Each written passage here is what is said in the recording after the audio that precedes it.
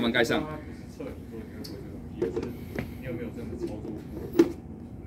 好，我来我来拿，我来拿，因为来后退一步，帮我帮我抓镜头。好，那为什么？因为呃，这东西是食物用的，万一滴出去的时候，直接滴在外面比较好收。二来说，这种东西在 GHP 法规里面加工过程中不要置直接置于地板，那这种食物篮子都是 OK 的。好，把它拿起来。哎呀，我怎么抓不到点？好。好，然后我先放掉一点点哈，因为上次杨老大教我说，这边可能会有刚才热温热的水，所以先放掉一点点。